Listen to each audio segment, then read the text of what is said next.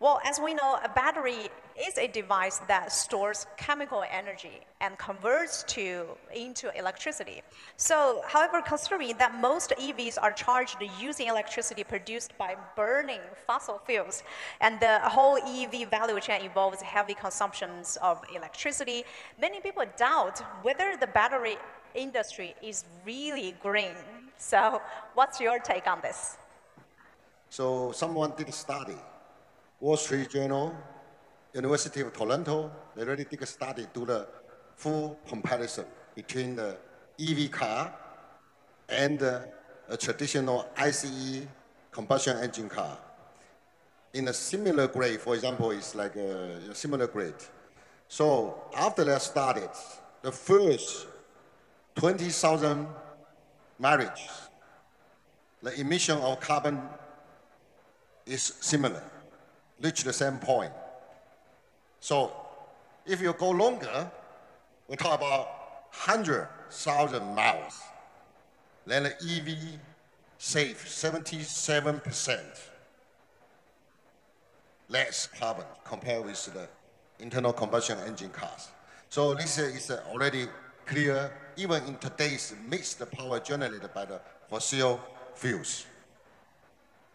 Secondly, for the battery itself, everyone is thinking about battery. Probably you guys think about lead acid battery, or you guys think about a primary battery.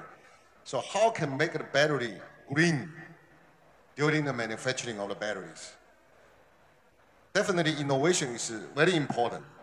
So CATL have been built two plants certified by the World Economic Forum.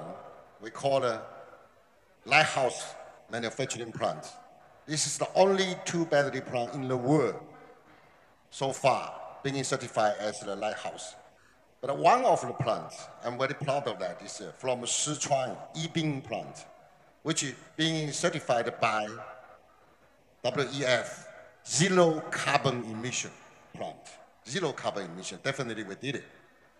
So with the technology, with the renewable energy, with the energy storage from battery, we can make the battery green, even the manufacturing process. So and then people try to ask, how is the supplies?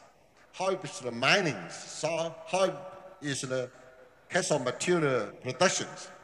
Yeah, we still have a long way to go to find out what to do. Just like uh, Mr. Luhut said, there's a lot of renewable energy resource in Indonesia.